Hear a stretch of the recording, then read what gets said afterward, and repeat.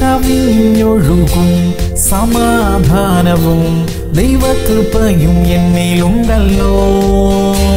N യേശു എന്നും എന്നുള്ളിൽ ഉള്ളതാൽ ഭയമെനിക്കില്ല തെല്ലുമേ.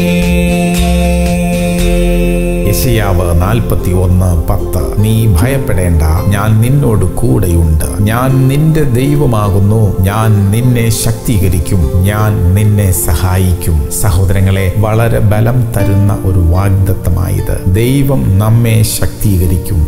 ദൈവം നമ്മെ സഹായിക്കും. യേശു കർത്താവ് നമ്മുടെ ഉള്ളിൽ വസിക്കുന്നു. അതുകൊണ്ട് ഇവിടെ ഭയത്തിന് യാതൊരു സ്ഥാനവുമില്ല. ദൈവം തരുന്ന സമാധാനമാണ് ഇവിടെ നിറഞ്ഞു കവിയുന്നത്. കർത്താവ് വീണ്ടും വീണ്ടും നമ്മെ ഓർമ്മിപ്പിക്കുന്നു. ഭയപ്പെടരുത്. തിരുവചനം പറയുന്നു നിങ്ങളിലുള്ളവൻ ലോകത്തിൽ ഉള്ളവനേക്കാൾ വലിയവനല്ലോ. അതുകൊണ്ട് ഭയപ്പെടേണ്ട.